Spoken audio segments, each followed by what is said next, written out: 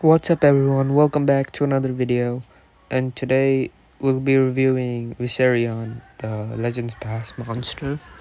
So I'm gonna go ahead and hatch him real quick.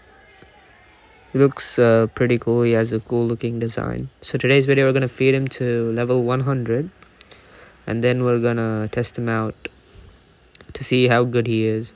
So see at his traits at rank 0 he has Artifact, at rank 1 resurrection block which is pretty good because uriel the divine is in the meta. And at rank 3 gains uh, precision for the whole team. Obviously it doesn't uh, attain precision because of the artifact trait which blocks every status effect. So i'm gonna go ahead and feed this. And uh, now we look at its skills. So removes all control effects and applies double damage Mm, that's good. Then removes positive effects. So we got a positive effect removal skill along with blind and total blind. And then we got a torture removal skill, which I guess is pretty good as well for a support. So I'm gonna go ahead and add these recommended skills. I do see a problem here. It doesn't have a negative effect removal in its skill base. No negative effect removal for a support. Now that has been a problem with many supports recently. They do not have a like a negative effect removals it's really rare to see. Like you see other supports like Jolteon as well. So guys for runes i'm gonna go team speed. And uh, let's test it out in a war which i actually have currently. All right so let's see what we can do. Uh i mean Viserion's going first. I don't really see what i can do. I guess um start off with the true vision and damage boost. I mean he'd do pretty good paired with an attacker but uh, Nahane is a denier and Turtle Myrtle is a tank, so I'm just gonna torture this guy and see what happens. Okay, uh, area mega possession and team freeze. Nahane is a pretty good cosmic. Anyway, let's see what we can do. Uh, both of my guys are freezed. Just gonna go ahead and move. Just gonna go ahead and do some raw damage, I guess. And uh, the thing with Viserion is so far looking at his skills i can purely say that he's not that great of a support monster. I personally would not recommend him but like in team wars i recommend him because of his you know books uh, his restrictions. It's rare to find monsters in uh, you know uh, these kind of restrictions where it's present in these types of books so. I wouldn't really use him unless you don't have any other support to use. So i'm gonna go ahead and uh, see what i can do here uh, uh, yeah just do that same thing uh, I wish he had an area positive effect removal and area negative effect removal. Like all the supporters right now, they're really lacking in uh, the area removal things. Like that's the base for a support. I don't know why we haven't gotten uh, many monsters with these. Okay, I think I'm gonna win this one. Definitely have the upper hand here. Just blind him and go with the mega possession. Okay, it's gonna we're gonna win this one with three war coins. Who do I torture? Okay, this should work. Oh, we got the special. Removes positive effects, total blind, removes negative effects, and heals them by 50%. Okay, this is good. Nice animation. Oh, miss. Miss on Lindworm. But everyone's been healed by 50%. So this should be pretty good for us. And uh, just do that for some raw damage and uh, really got nothing else to do.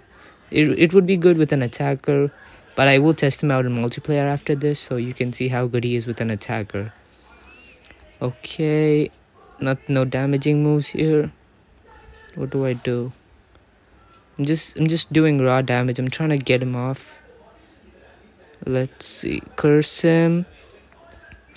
Okay, he's giving himself drowned. Let's add bleed to that and uh, same thing true vision and damage boost might replace uh, the true vision and damage boost with the area blind it has and three war coins.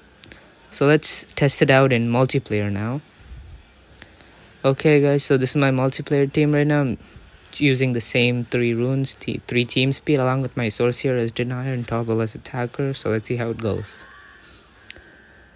All right first battle Alright, so we got another Tobel and we have Jellimer as well. To start off with cooldown, activation. let's see how this goes uh just start off with the shield. And Viserion let's go. Uh what should I do here? Think I don't know. Just give blind to Jellimer I guess okay all of these guys got freezed. So that's it guys. Viserion is it's like okay I guess. Mass support. I mean if you don't have any other support and you're looking for him I guess he could be used. His, the only good thing about him is his trait which is the artifact and you know at rank 1 resurrection block I guess which is good. But as to consider his moves not that great. Oh I got cursed countdown alright well they're gonna die both of these will die. Oh, he just healed himself. No problem. Uh,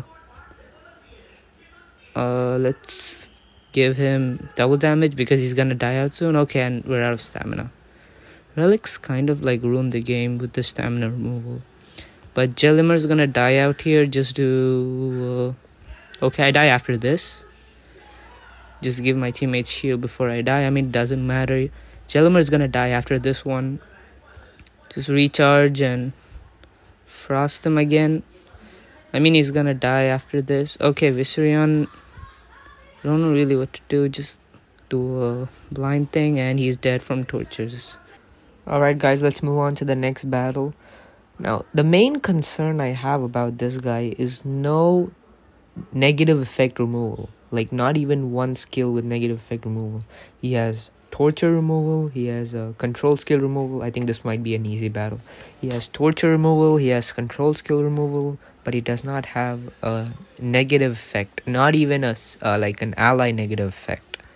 I mean a team negative effect is uh, really useful not even an ally negative effect. So that uh, really sucks because you've got uh, really good uh, negative effects such as you got trade disabled you got you got blind you got minor blind you got damage reduction. And it just sucks that Viserion cannot just remove all of them. Like here I did the double damage move but it only removes like the control effects so that's not that good for a support. And we win this one as well. Easy easy battle. So there we go another victory and uh, gotta discard this one so guys my main concern for this monster is that you know all the things I said so far. It's not that great. It has good speed stat. It has good relic slot area. But to conclude, would I use this? Nah. I would rather use uh, better supports, such as you got Doctor Bloom, you got Jolteon. These two are better. I prefer Doctor Bloom over Jolteon because of you know its damage boost. But it's not that great for support. But if you don't have any other option, I guess you go with him but uh, I wouldn't recommend him. But that's all for today's video, guys. Thank you for watching.